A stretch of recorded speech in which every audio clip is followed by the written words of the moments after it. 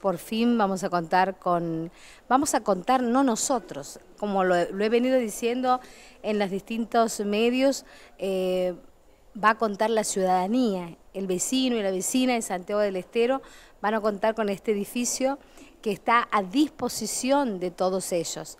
Inaugurar esta casa nueva en un lugar donde les decía cargado de historia, como ha sido el paso de Duarte de Perón, en un edificio que, eh, donde los trabajadores de este Consejo Deliberante van a poder disfrutar y trabajar y desplegar su trabajo de la mejor manera, porque nuestro intendente eh, don Hugo Orlando Infante nos ha cumplido el sueño, ha cumplido su promesa, y cuando uno tiene palabra y la cumple, le ha cumplido no solo a los trabajadores de este, de este consejo que lo han visto a él desempeñarse como concejal de la ciudad capital, porque cuando era concejal de la ciudad quería y se había comprometido algún día van a tener esta casa. Y bueno, hoy, eh, hoy digo ya pocos días, este 19 va a ser este... Eh, va, a poder cumplirse ¿no?